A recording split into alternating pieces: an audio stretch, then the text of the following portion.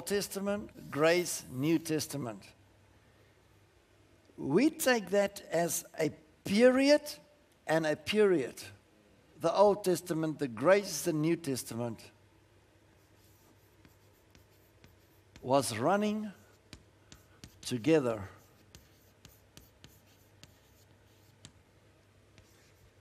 Let's just put that there to make it here. Always. There wasn't a time span of the law, and there wasn't a time span of grace. Grace was there all the time that the law was in operation. And law is there all the time that grace is in operation. It's not a time thing, it's a spirit thing. In the book of Corinthians, Paul tells us in 1 Corinthians 10, I think he says, all the things that happened to the house of Israel, the happenings with Israel.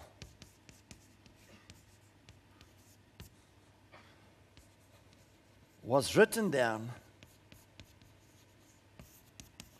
for our admonition for our warning, for our example. That's the words that's used in different translations. So a lot of things happened to the house of Israel under the time and dispensation of the law, if we can call it a time and dispensation, because how, that's how we saw it until now, happened to them for examples for us, for admonitions for us, for warnings for us. Yes. All right? Yeah. When God said to Moses, he must build a tabernacle with an outer court, an inner court, or a holy place, and a holy of holies, and nobody could enter the holy of holies, it's things that every Christian is supposed to know, except the high priest, and he could only go in once a year, and that not without blood. So you had to be of the tribe of Levi. You had to go through the offices of being a, a Levite, being a priest, being a high priest. The high priest was ordained, and he had to, to, to, to, to, to uh, uh, be there in office for a time. And only the high priest could go into the Holy of Holies only once a year and not without the right cleansing and the right blood. Otherwise, he would not have been accepted and he would have been killed. But people like Moses, people like Joshua, people like Samuel, people like Elijah, people like David, Ezekiel, uh, etc. Many of those people were not of the tribe of Levi. Uh-huh. They went into the Holy of Holies without picking up trouble. So, while the law was running, grace was running at the same time. While God made a law that said nobody can go in here if you're not a high priest and you can only go in once a year. If you do not, if you do not go in the right way, the right place, with the right office, you'll be killed. But grace was always there so that people that understood grace, that understood God, that walked with God, could enter in without being killed, without an offering, without blood, just walking in. So I hope that that will help you. So go to Romans 11. This is going to be maybe a new era in the church after today, if somebody can see it. Verse 5 will help. It says, Even so, then, at this present time also, at this present time also, there is a remnant according to the election of grace. And if by grace, then it is no more of works. Otherwise, grace is no more grace. But if it be of works, then it is no more grace. Otherwise, work is no more work. What then? Israel hath not obtained that which he seeketh for, but the election hath obtained it, and the rest were blinded. God said, when it comes to Israel, when God led them through the wilderness and he had the house of Israel till the time that Jesus came, there was the election according to grace. God says there is a remnant in this present age according to the election of grace.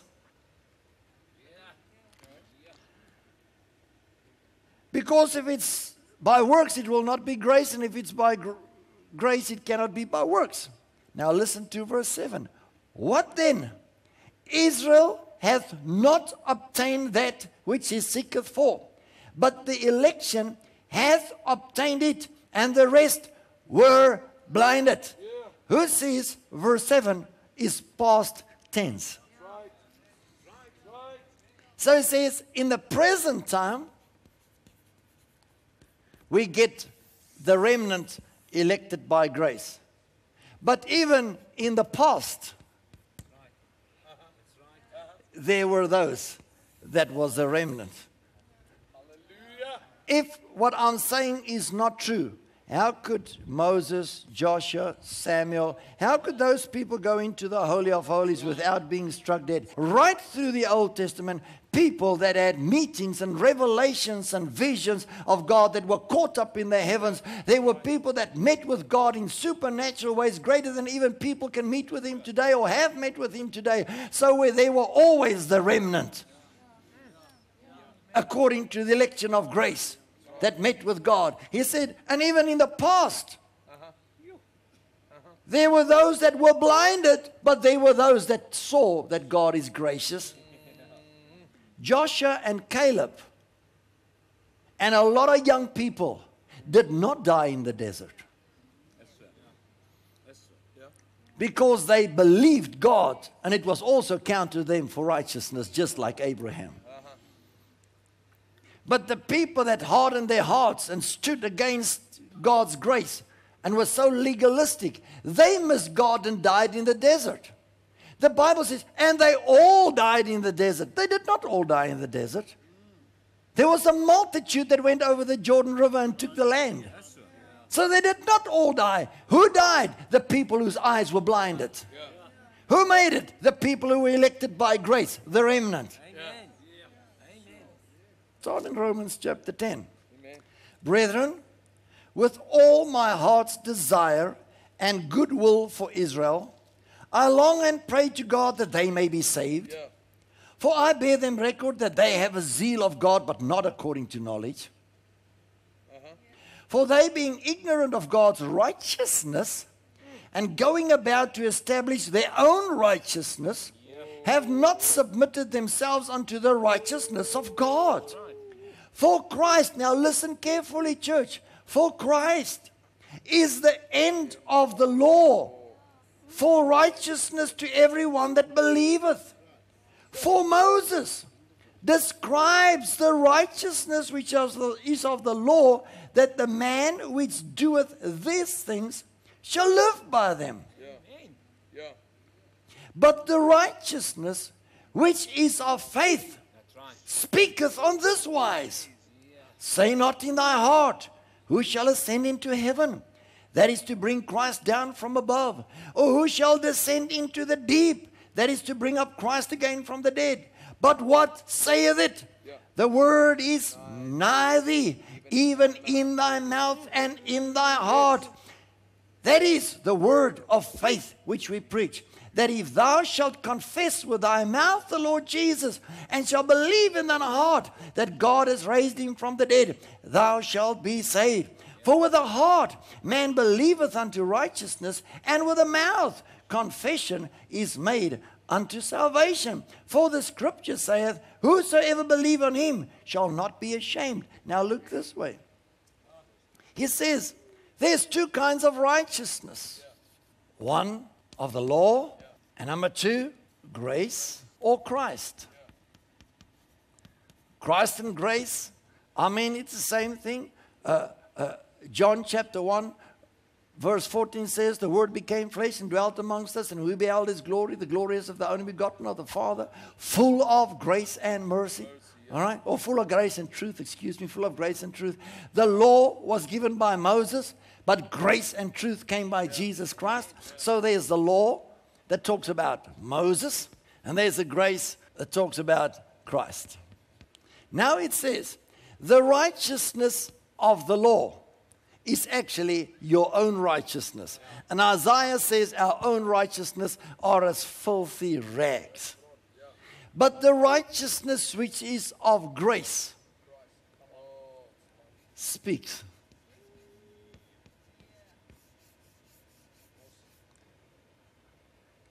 It says, the word is near you. It's in your heart and it's in your mouth. For we used our mouth to confess. And when we said, Jesus is Lord, we were saved. Okay, now he says the righteousness speaks in this way. Are you back there at Romans chapter 10? It says, Say not in your heart, Who shall ascend into heaven? Or say not in your heart, Who shall descend into the deep? But what saith it? See? So you must not say, Where can I get it? How will I get it? It must be something that is in your heart and you must say it. This sermon that I'm going to give you, this is why they stoned Stephen. If you go to chapter 6, it says, Stephen, full of the Holy Ghost, did great signs and wonders under the people. Remember? And then he started preaching. Listen to verse 35 to 38 in the Amplified. It was this very Moses whom they had denied, disowned, and rejected, saying, Who made you our ruler, referee, and judge? Whom God sent to be a ruler and deliverer and redeemer by and with the protecting and helping hand of the angel that appeared to him in the bramble bush. Moses was rejected and disowned by the house of Israel because he was sent as a deliverer and a redeemer by the hand of Almighty God. He is the one who led them forth, having worked wonders and signs and in Egypt and at the Red Sea.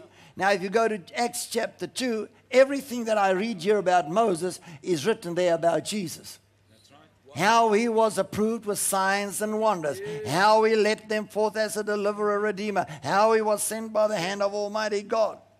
Verse 37 It was this Moses who said to the children of Israel, God will raise up for you a prophet from among your brethren as he raised me up.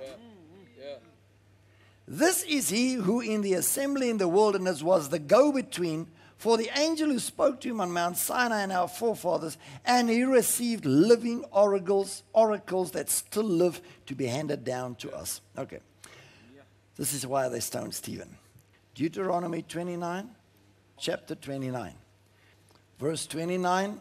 The secret things belong unto the Lord our God, but the things which are revealed belong to us and to our children forever, that we may do all the words of this law.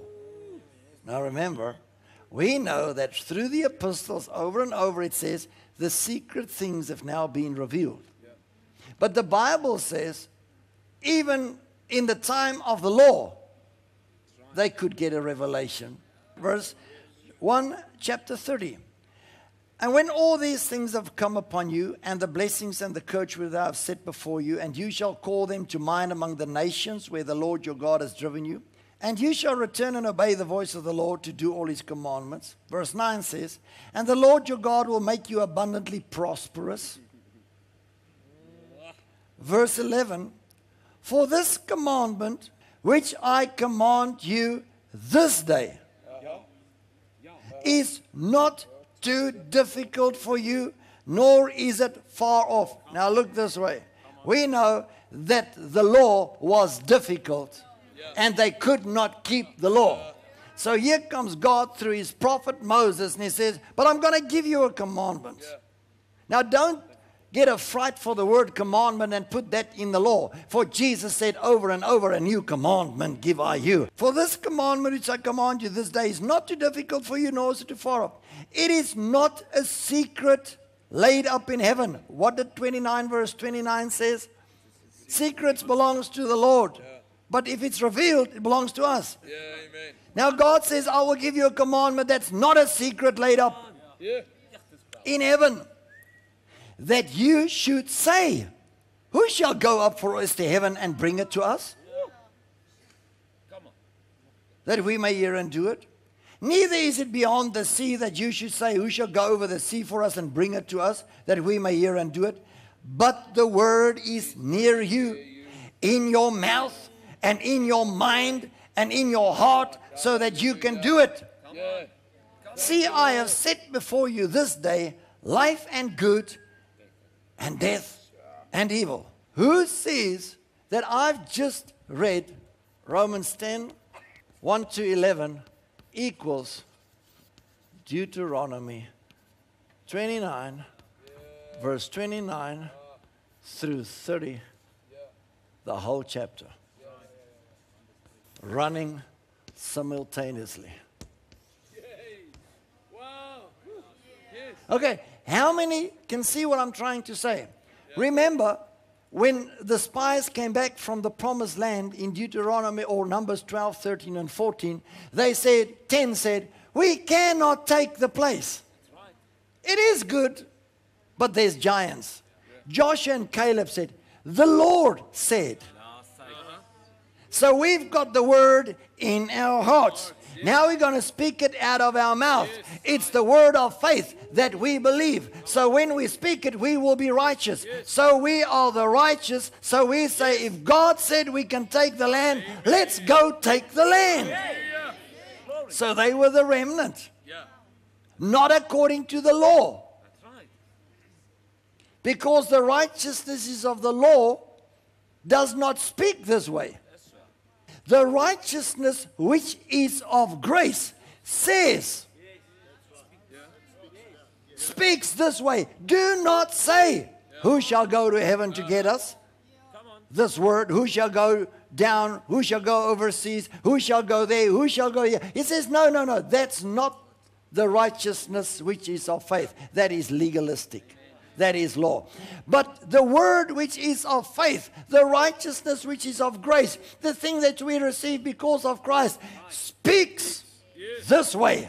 Hallelujah. The word of God is near you, in your heart and in your mouth to speak it. So if I speak this word, this is the word that God will honor. This is the word that'll make me righteous. This is the word that'll put me in the remnant. This is the word that make me the elected. This is the word that puts me in the grace. And that is past, present, future. Don't care whenever you live. It's not law. It's not grace. It's not a time period. It's a spirit period. Do I see the revelation that secrets are for the Lord? But if the secret is revealed, it's for us. God revealed the secret to David, Joshua, Moses, Elijah, right through the Old Testament. They received the secrets of God. And they took the word, spoke the word, and they were elected because of grace and not because of law.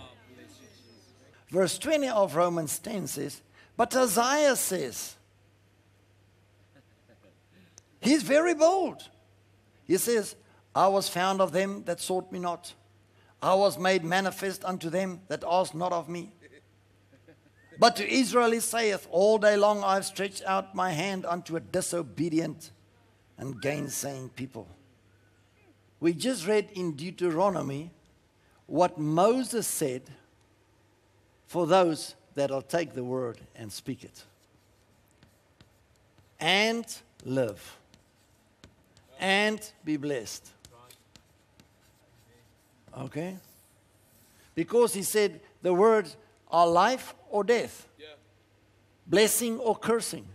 The law is as strong today as it was when Moses came down the mountain. And so is grace as strong today as it was when God appeared unto Abraham and said, Abraham, leave your country and you'll be blessed. Now, Isaiah says something. Verse 16 says, But they have not all obeyed the gospel. Now, I want you to hear the word used here is gospel, not law. Look at me, church. They did not all believe the gospel. Who? Israel. When? In the time of the law. Again, I use the word time because that's how we still see it till today. They did not all believe the gospel or obeyed it. For Isaiah says, Who hath believed our report? Yeah. Yes. So faith comes by hearing, and hearing by the word of God. Right. But I say, have they not heard? Yes, they have. Their sound went into all the earth, uh-huh. and their words unto the ends of the world. But I say, did not Israel know? Moses spoke it. And then Elisha spoke it. Oh. So he says, the gospel. Now we know Romans or Galatians 3 8 says the gospel was first preached unto Abraham. But now, if we take the context though, Moses preached the gospel. Isaiah preached the gospel. Isaiah, Moses, they brought this word of faith. Is that right? Now it says, and this word went throughout all the earth to all the people, but help me, Holy Spirit, they did not all obey. In other words, there were always a remnant.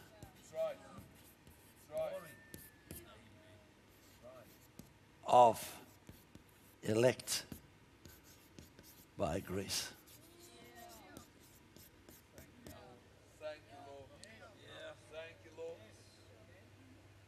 Isaiah said they did not believe the report. So faith, this I touched on a few weeks ago. Faith comes by hearing, and hearing by the word. Which word? The report That's right. That's that right. Isaiah brought. right. Because the context in those two verses, Isaiah said, Lord, who shall believe our report? Uh-huh. So faith comes by hearing the report, and if I believe the report and speak it out of my mouth, the righteousness which is of grace will be my portion. So let's check out the report again. Isaiah 53. Who has believed our report? Yeah. Yeah. Come on. So, so it must be with this in mind that Paul wrote Romans 10. Yeah. But it must have been with Deuteronomy 30 in mind that he wrote Deuteronomy 10. So Paul must have looked at the two and saw it as one and put it together. Yeah.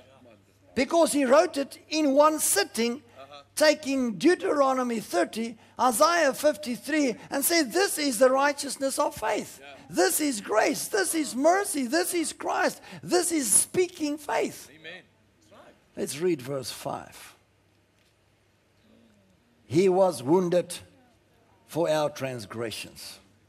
He was wounded for our transgressions. You transgressed against God. You ha- had iniquities in your heart. Jesus was wounded for your transgressions and bruised for your iniquities. The chastisement of our peace was upon him. He was chastised for our peace. That is for your soul, man. Because if you haven't got peace in your soul, your whole life is in an uproar. By his stripes, we were healed. So the word is near you, in your heart and in your mouth. That is the gospel that Moses and Isaiah and Abraham preached.